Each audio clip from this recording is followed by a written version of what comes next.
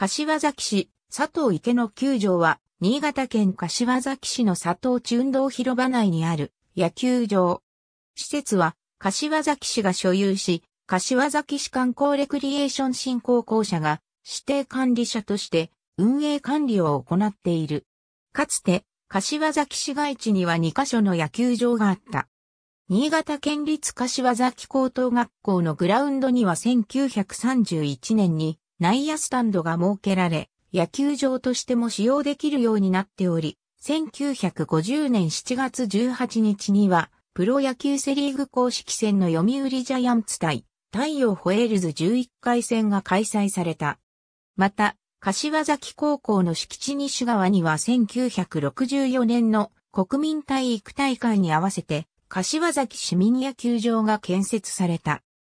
両球場はいずれも高校野球などアマチュア野球公式戦が主に行われていたが、海岸部に近く老朽化が進んでいたことなどから、市は柏崎刈羽原子力発電所の建設に伴って国から交付された電源立地地域対策交付金の一部を活用して新たな野球場を市郊外に建設することを決定。市街地南東側の佐藤ヶ池新田地内を建設候補地とした。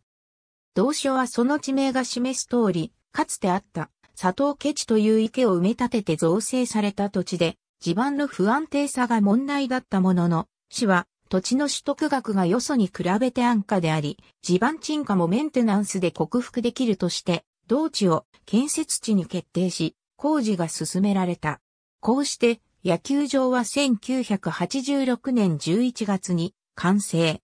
翌1987年5月23日、初のプロ野球公式戦となるパリーグ公式戦の南海ホークス対ロッテオリオンズ7回戦が球場開きとなった。しかし、この試合は前日まで降り続いた雨の影響で、グラウンドコンディションが良くない中で強行された。開始時間が32分遅れたのに加え、試合中には雨足が強まって1時間にわたって中断。グランドに土を運び込むなどした。この状態でも試合成立を目指したのは、前売り券が完売していたという事情があった。照明設備が設置されていないことから、午後5時44分、8回、表一市無走者をもって4から4で同点のまま、サスペンデッドゲームとなった。サスペンデッドのルールは2012年に削除及び廃止されたため、事実上日本プロ野球における最後のサスペンデッドゲームである。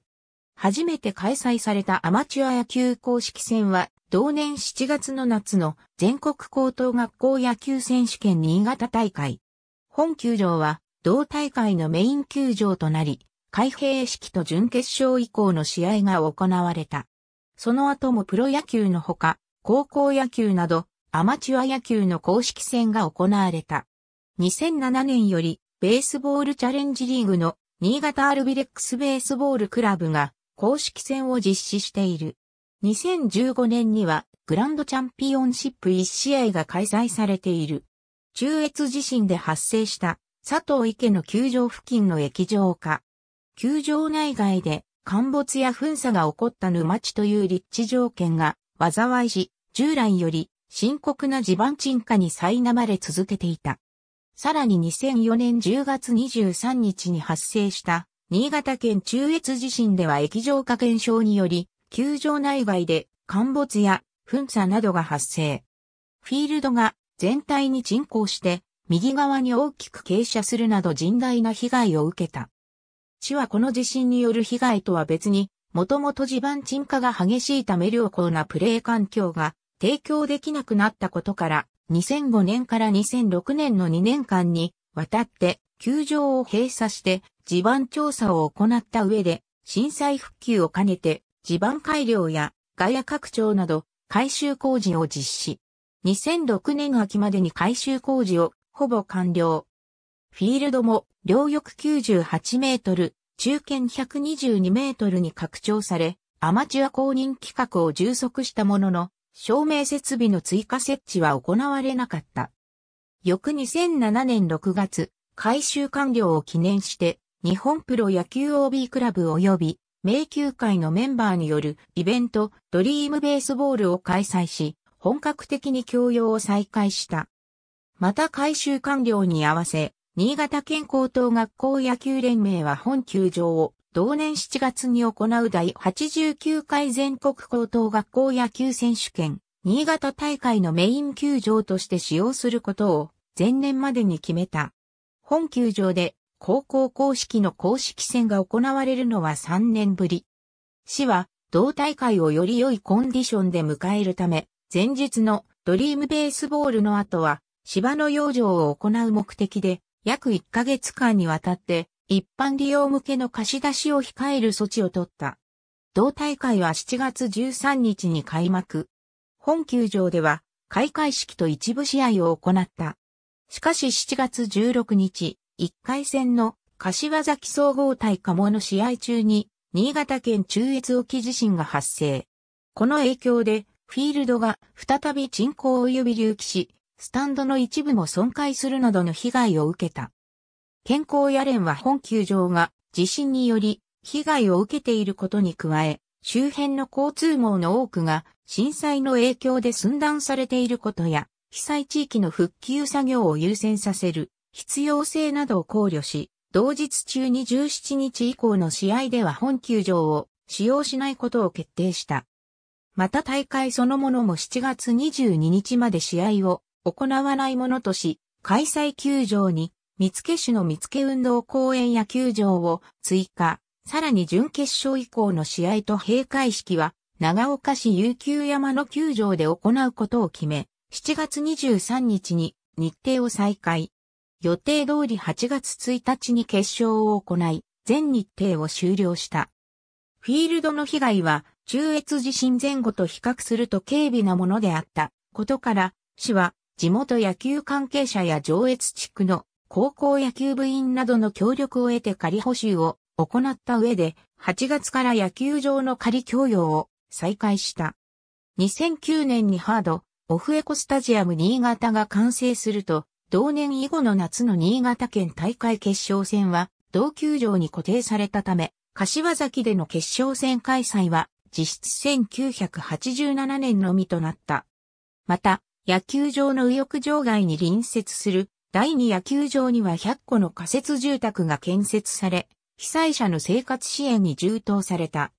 その後2009年8月、復興公営住宅の整備が進捗したのに伴って、仮設住宅は順次閉鎖及び撤去され、第二野球場は2010年春から供用を再開した。本来であれば中止すべきコンディションであったのに、この試合の地元主催者であった新潟日報社の関係者が開催するよう必要に嘆願したため、それに審判団らが折れる格好で強行した。同社は翌5月24日の新潟市エイトリアの野球場でも雨天によりグラウンドコンディションが悪い状況下で強行を試みたものの結局中止となり、決定直後には観客が関係者に詰め寄るトラブルが発生。この2日続きのトラブルが元で、日刊スポーツなどのスポーツ紙や全国市場で営業優先主義などと痛烈な批判を浴びる結果となった。サスペンデッドとなった柏崎の試合の再開分は、次回堂カードが行われる7月7日の平和台、野球場での試合前に行われる予定だったものの、当日は雨天にたたられ中止。翌8日にやっと試合が行われ、5x-4 で南海がサヨナラ勝ちした。なお、サスペンデッドゲームで中断前の試合が地方球場で行われた場合、原則として続行分は主催側の専用球場で行うことになっていたが、続行分が地方球場で行われたのはこの例が実質初めてであった。1989年5月27日に行われたヤクルトスワローズ対横浜太陽ホエールズ9回戦の5回、表、当時対応の新人だった谷重元信が、ヤクルトの小花高尾投手から公式戦初本塁打を放った。試合後、谷重は、この球場のことも、小花さんのことも、一生忘れないと思いますと喜びをかみしめていた。なお、谷重は、中日ドラゴンズ移籍後の2009年9月1日に行われた対広島東洋カープ19回戦で新潟県出身の今井圭介から通算205本塁打を放ち、さらに201本目の本塁打を9月6日の対横浜ベイスターズ20回戦で放っている。同試合後、谷重はヒーローインタビューで新潟に縁があるようですねと問われると、そうですねと照れながら答え、その後の取材でも20年前に新潟で初本塁打を打ち、今日201本目を打って、また、ここからスタートできると考えにふけっていた。ありがとうございます。